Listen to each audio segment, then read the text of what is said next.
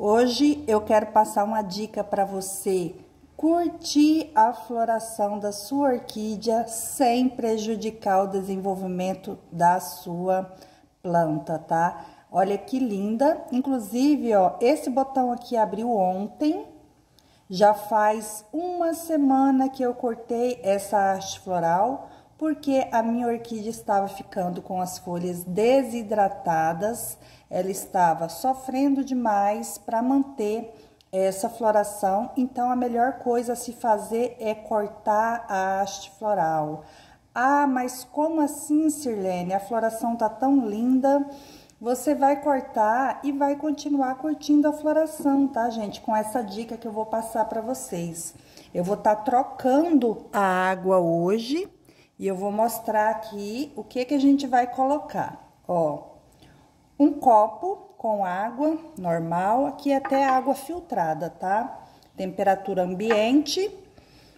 Uma colherzinha de café de açúcar, isso mesmo, tá? Açúcar, você coloca, mistura bem e coloca aqui as suas hastes florais, fazendo dessa maneira a floração vai ficar aqui por bastante tempo, tá, gente? Porque o açúcar, a, a haste floral consegue se nutrir, se manter nutrida com esse, com essa glicose da açúcar e a gente vai continuar curtindo aqui essa floração por muito tempo ainda, tá? Fica essa dica para você não ter dó de cortar a sua haste floral, porque a flor tá bonita, porque não vai murchar se você fazer dessa maneira. Olha aqui para vocês verem o que pode acontecer com uma orquídea que está sofrendo para sustentar uma floração. Olha para isso, gente.